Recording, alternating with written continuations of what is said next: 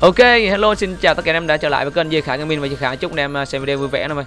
Ở video này Khải sẽ soi đồ cho anh em xem, Khải đang đánh tống kim anh em. Trận này Khải chưa mất kêu, Khải mới có 19 kêu thôi. Khải soi đồ cho anh em xem hòn hồng tím, một ạc gió đang quyền, quá chắc, top 1 đang top 1 tổng kim. Chỉ còn khoảng 5 phút thôi thì chắc chắn ạc này top 1 rồi.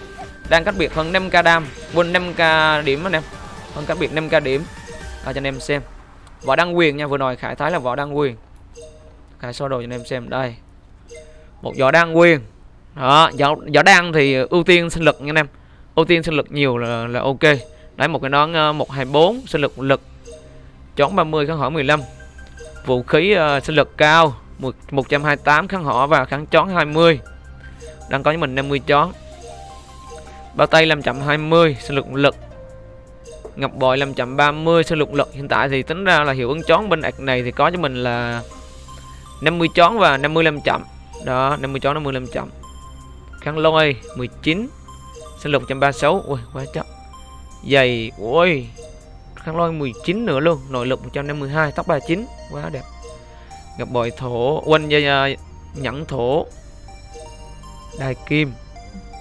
Đang có cho mình là 21 chuyển hóa sát thương thành nội lực. Ui, đai lưng sinh lực cao 160 quá chất gia truyền kháng cả 7 đó, một ạc võ đan quyền anh em ơi ạc võ đan nguyên thì tính sơ ra thì đi theo cái hướng vũ khí à, thủy có những mình chón 50 sinh lực lực khá là cao set đồ này build sinh lực rất tốt luôn.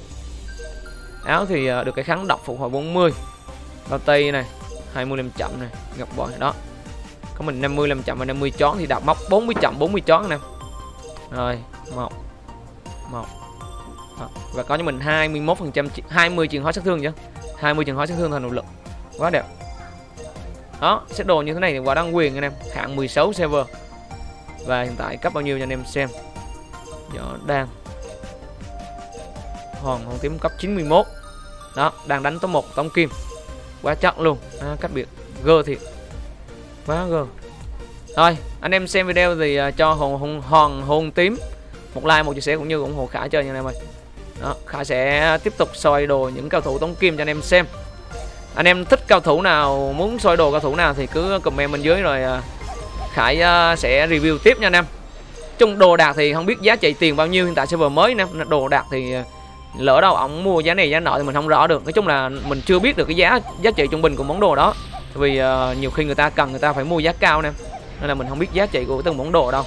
Tầm này thì chưa biết được.